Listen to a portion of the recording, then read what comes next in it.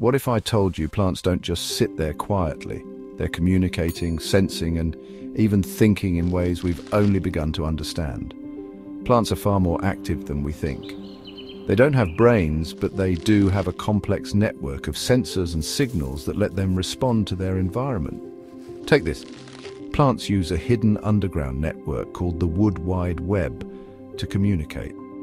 Through their roots, they send chemical signals to warn each other about dangers like pests or drought. Some trees even talk to each other through the air. When a tree is attacked by insects, it releases a chemical signal that nearby trees pick up, triggering them to ramp up their defenses.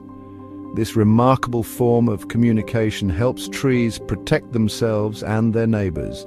Plants also know where to grow. They can sense light, gravity, and touch.